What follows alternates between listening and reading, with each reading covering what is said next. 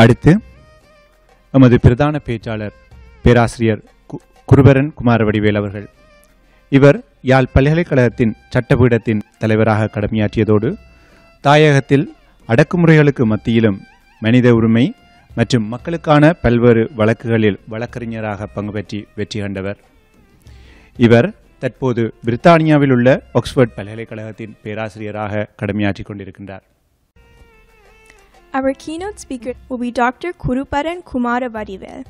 Dr. Kumaravadivel served as an academic attached to the Department of Law, University of Jaffna, Sri Lanka, between 2010 and 2020, serving as a senior lecturer at the time of resignation.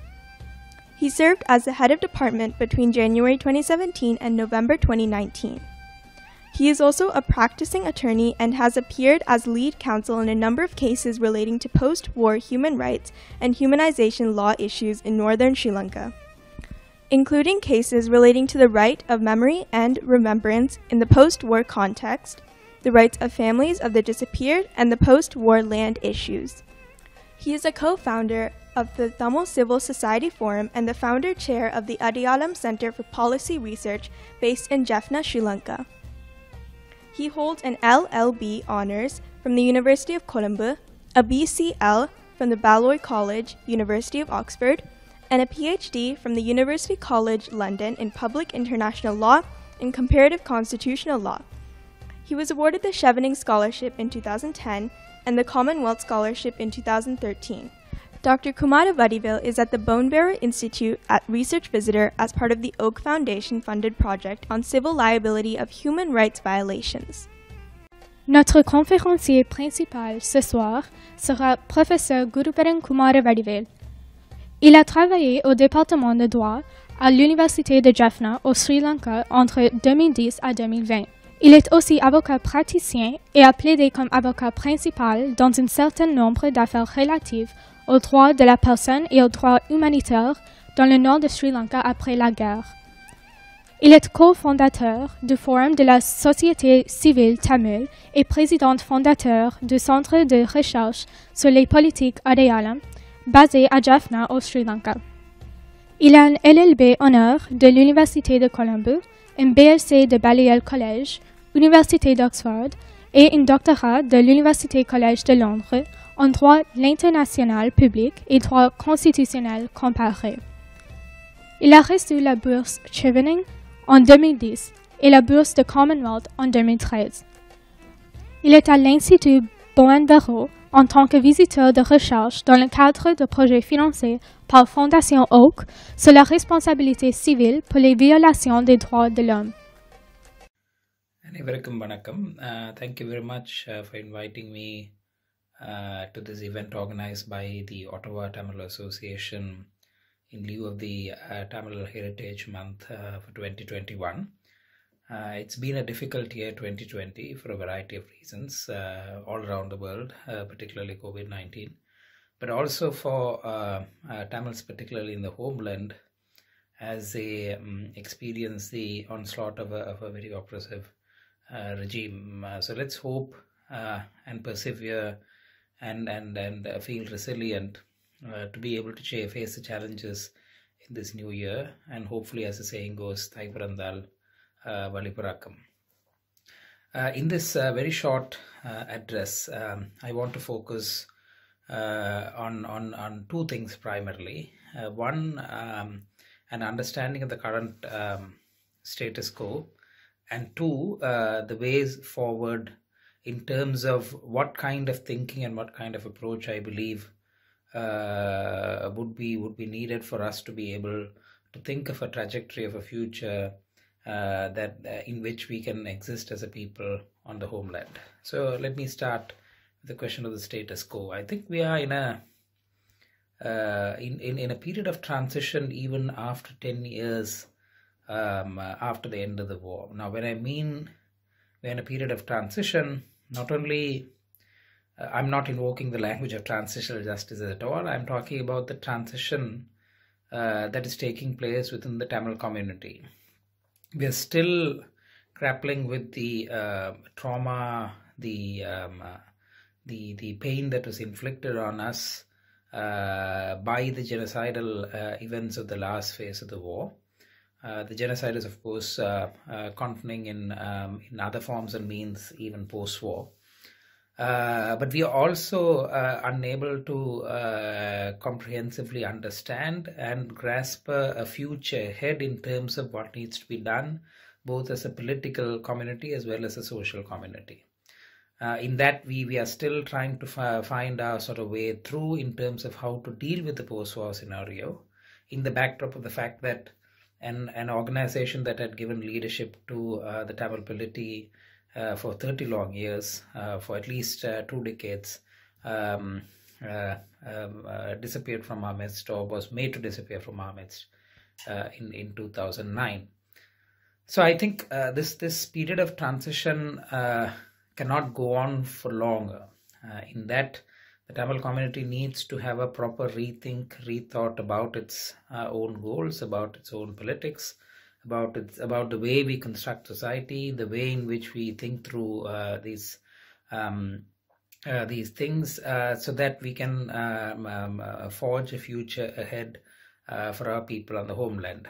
Now, why I say we are in a period of transition is because uh, there hasn't been enough political thinking, there hasn't been enough um, social thinking around how we uh, get to the larger aims of the Tamil polity. Uh, what type of strategies, what type of approaches, what type of ideological shifts, if necessary, are required to uh, required in the post-war scenario. I, I, I, I- think uh, in the in the aftermath of a catastrophe uh, like May 2009, it was essential that we bring our minds together to to to, to be able to understand the uh, not only understand the calamity that had uh, befell the Tamil people, but also to uh, think through these issues collectively and from a bigger picture. And I think that conversation hasn't taken place. That might be because we are still uh, sort of, you know, lingering from the pain that has been inflicted on us and the pain that is being continuously inflicted on us. But it is time that we uh, do that. And I think that sort of conversation is something that we must invest in for our own future. And that is something that the homeland must lead on, but something that the diaspora can contribute to.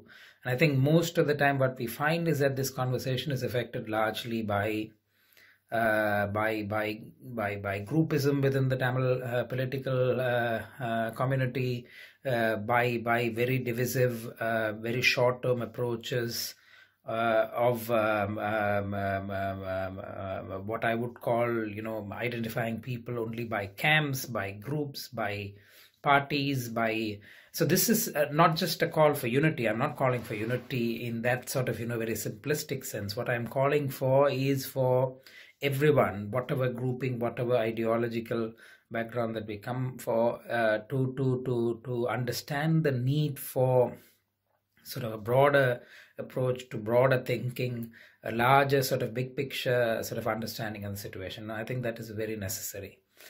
Uh, in, in, in, in the in the present context, if you, um, I mean, I mean, everyone knows what this what this particular regime is capable of. I, of course, think that uh, the current regime is a continuation of the Sinhala Buddhist uh, nationalist uh, governments of the past. It's not a variant. Uh, it's not a sorry. It's not a deviant. Um, the, what the Rajapakshas are today uh, espousing in terms of Sinhala Buddhist nationalism, uh, the foundations of which was uh, led by uh, Nagarika Dharmapala, followed through by many leaders, uh, SWRD Bandaranaike, the UNP, J.R. Jayawardena, Chandrika Bandaranaike, Kumaratunga included, and I would even say Ranil Wickremesinghe. So this isn't, this is, you just have different um, mutations probably or different uh, gradings of, of how uh, severe and how deep uh, the hegemony is uh, that emanates from Sinhala Buddhist nationalism, but it's a continuation. But what this government, where this particular regime stands out, is in the fact that they are a little more bolder about their Sinhala Buddhist nationalism. They are currently, particularly given that they are not unable, uh, that they found out in the last one year that they are unable to deal with the economic um, uh, hardships of the Sinhala people, how to alleviate the economic hardship of the Sinhala people.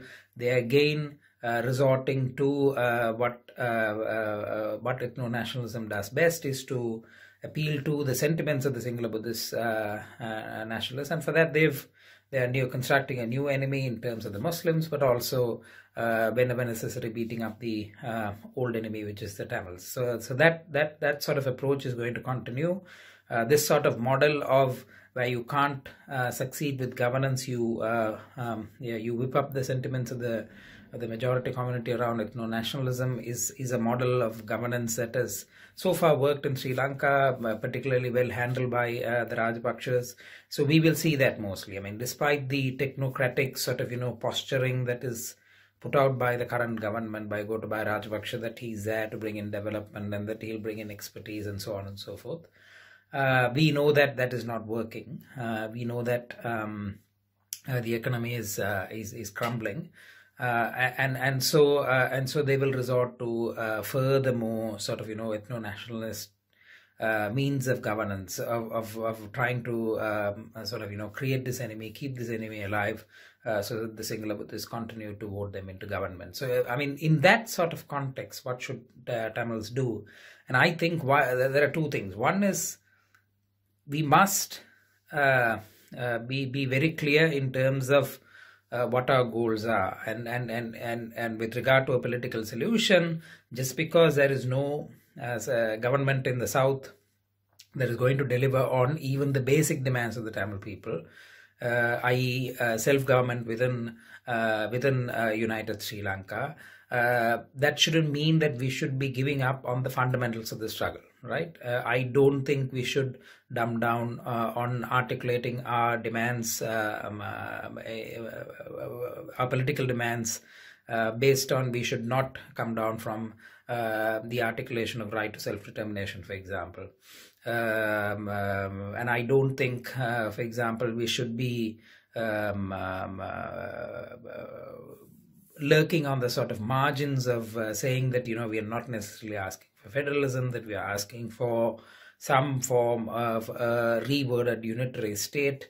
Those, I think, are extremely problematic in the sense that they do not understand those kind of maneuvering, uh, manipulation that intelligent politicians think that they're doing uh, intelligently won't really work in the face of Sinhala Buddhist nationalism that controls the state because whatever maneuvering manipulation that you do, they will be able to um, reconfigure the state uh, into a strong unitary state unless there are deep um, uh, deep um, um, checks and balances that are put in there in the constitution in the form of um, uh, you know very strong federal provisions that doesn't allow the central government to take away uh, powers uh, that that inherently belong uh, to the Tamils. Uh, so I think I think I think I think it is important. we are not going to see this government definitely come up with a political solution. They are probably going to come up with a constitution that is going to tweak with the Thirteenth Amendment.